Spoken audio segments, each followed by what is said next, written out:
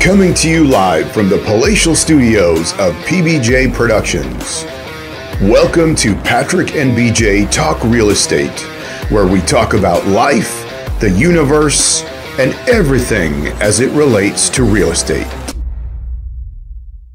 Hey, everybody, it's BJ. And Patrick. And we're back talking all things real estate. And today, I haven't a, a report from CTV News. I'm going to read the headline. Uh, the headline reads Not out of the woods what, a, what softening in the housing market may mean for buyers and sellers. We're not out of the woods yet. Not out of the woods yet. Like the Blair Witch Project. We're stuck in the woods. yeah, I've never seen it, but I'll take your word for it. Just, it's. I'm not endorsing it. Yeah, yeah, I got it. Skip it. Um, it's horrible. And, I guess what we want to talk about is what does this really mean? Uh, the article just talks about that. You know, we had, we saw some rebound in the market in December in terms of numbers and sales. We saw things starting to pick up again. I think we're starting to see things start to move again. And we said in another video where we talked about 2024 and our projections for 2024 that we expected to see the market at least I, I, my part of it was that I expected to see the market picking up steam as the year progresses.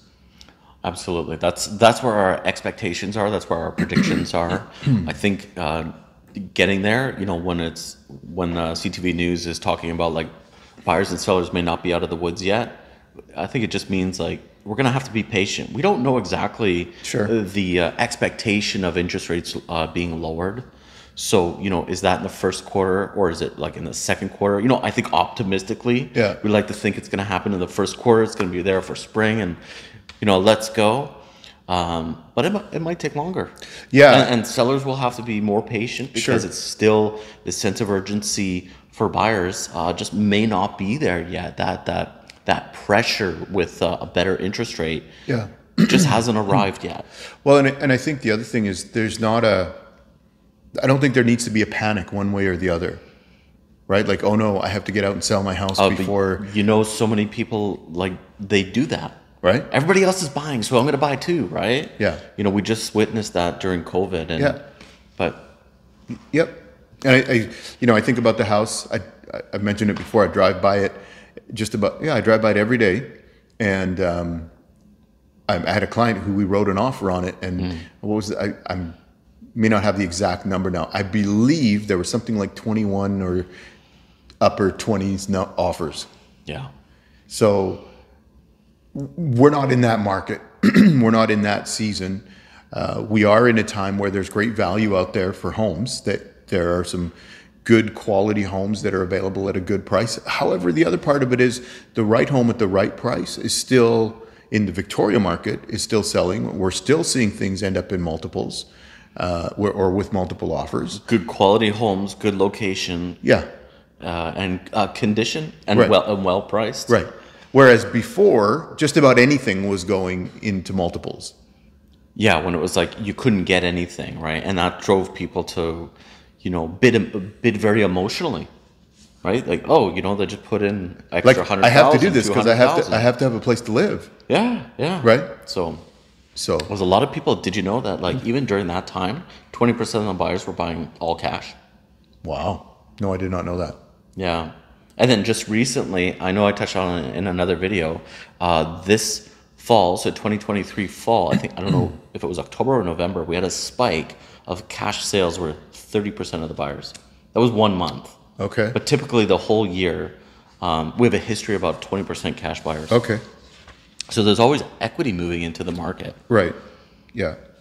So the gist of the rest of what this article is about and the report is about, it just talks about not taking one month and using that as the benchmark for the year, whether it's a good month or a bad mark month, pardon me, um, but starting to kind of look beyond that. Let me read uh, something here. Um, when you have to look at more data, like not have like just a snapshot of like what's happening this week or this month. Right. You know, what is the trend in six months or what is the trend in like a year or more, right? Yeah. To see what direction. You know, people ask like, oh, is it a good time to buy uh, real estate in Victoria?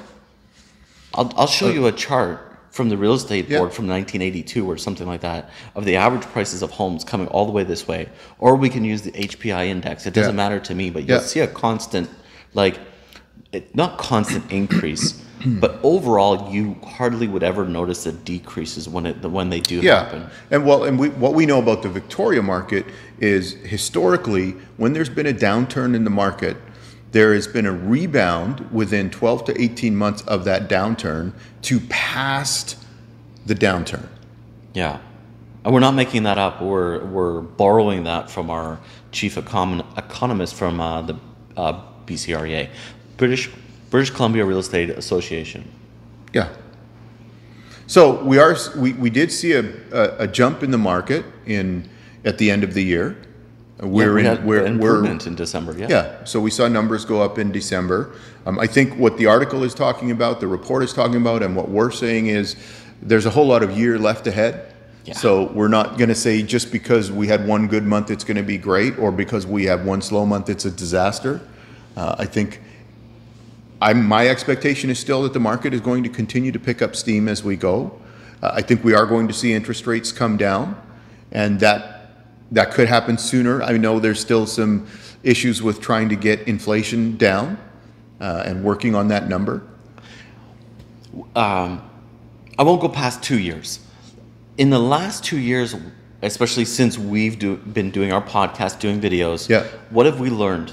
Like, we don't know what's going to happen in the next six months or eight months or a year. Like legislation, uh, especially in BC or federally, Yeah. you know, different things are going to happen. There's going to be more curveballs.